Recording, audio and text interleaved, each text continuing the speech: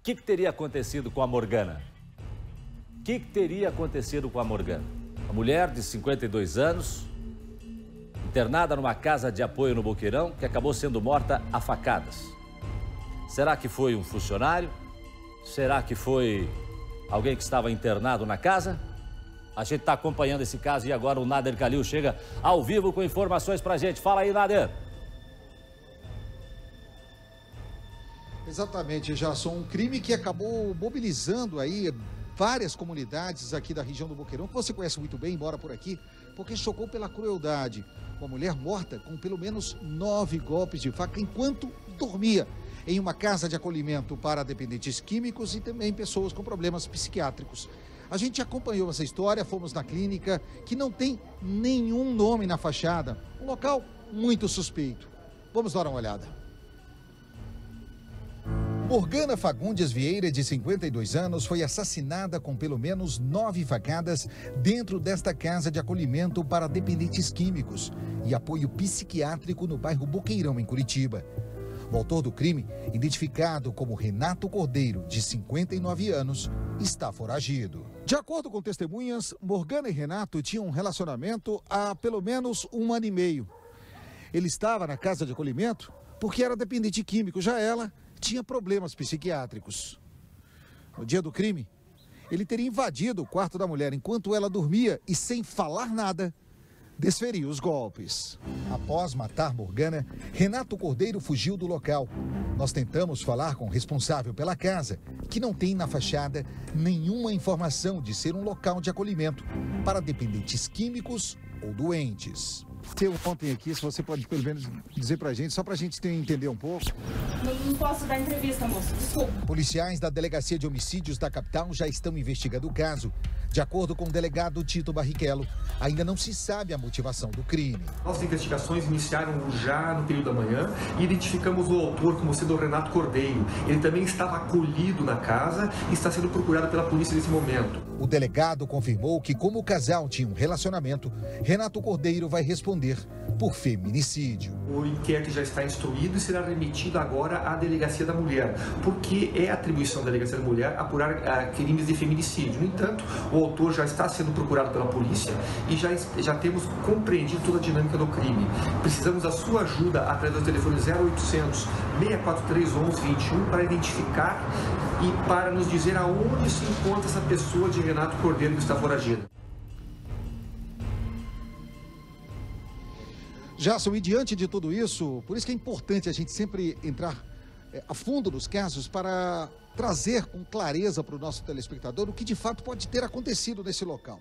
Primeiro de tudo, nós vimos na reportagem e o próprio delegado falou que esse caso deve ser repassado à delegacia da mulher, porque pode se tratar de um feminicídio, já que, segundo a polícia apurou até agora, tanto o autor do crime quanto a vítima teriam uma relação.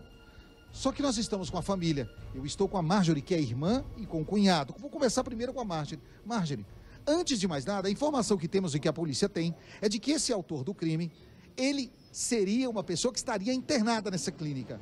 Não é isso? Não, não é essa informação que a, que a gente tem. É, sempre foi que ele era um funcionário, um colaborador da casa, um cuidador. Nunca que ele foi interno ou era nada, nada ele disso. É funcionário do local? Funcionário do local. Como é que você tem tanta certeza disso? Porque todas as vezes que a gente foi lá, era ele que abria o portão, era ele que ligava falando que ela precisava, de roupa, de material de higiene, ele que cuidava dela, ele que fazia os atendimentos com ela, ele nunca foi paciente lá. Ou seja, ele tinha a chave da clínica. A gente percebeu na reportagem que uma das funcionárias teve toda a dificuldade para entrar no local na manhã de hoje, exatamente porque ela não tinha chave. Sim, ele tinha chave. Quanta, várias vezes a gente foi visitar ela e a gente tinha que pedir autorização para ele. Era ele que abria, ele que levava até o quarto dela. Sempre foi ele que atendia, atendia lá. Eles eram namorados? Não, não. A gente não tem nenhuma informação disso. A informação que a gente, é, que a gente sabe é que ele dava é, os cuidados para ela, dava atenção para ela.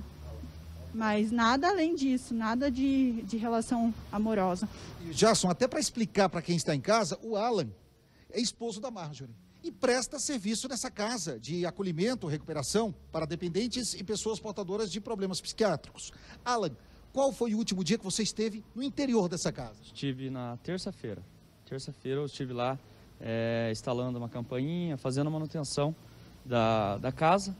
E lá eu, eu vi que a Morgana estava sem os, os cuidados necessários. Estava toda defecada e eu questionei ela o porquê que ela não tinha sido trocada, né? E ela me falou que esse Renato estava com, com ciúmes dela. Eu questionei ela por que dos ciúmes, né? Ciúmes do quê? E até mesmo ela não soube me explicar os ciúmes do quê. Ou seja, eles não estavam tendo os cuidados necessários com ela, ela estava precisando trocar as fraldas, já que ela usava fraldas, permanecia muito tempo em cadeira de roda, então ela não estava recebendo os cuidados. E aí o que você fez ao perceber que ninguém estava cuidando dela? Chamei uma senhora, a dona Rose, é, mãe do proprietário William, e ela me falou que, eu perguntei, questionei ela do Renato, onde ele estava, né? E ela me falou que ele não estava na clínica, tinha saído, ninguém sabia para onde, e que já tinha feito isso outras vezes, e que quando voltava, é, voltava com sinais de embriaguez. Já já eu volto para trazer mais informações desse caso, conversando com os familiares, conversando com a mãe da Morgana. Mas importante já são as informações que nós obtivemos agora, confirmando de que esse homem era um trabalhador da casa, tinha a chave do local, por isso conseguiu fugir com facilidade após cometer o crime. E eles não tinham uma relação afetiva, ou seja, esse crime não teria relação com feminicídio, o que faz com que ele fique na delegacia de homicídios sob o comando do delegado Tito Barrichello. Ou seja, muita coisa pode acontecer ainda, mas eu volto já já aqui do velório, onde a Morgana está sendo velada pelos familiares. Jason. Beleza, então, nada. Daqui a pouco a gente volta a conversar. Quero ouvir a doutora Márcia também a respeito disso.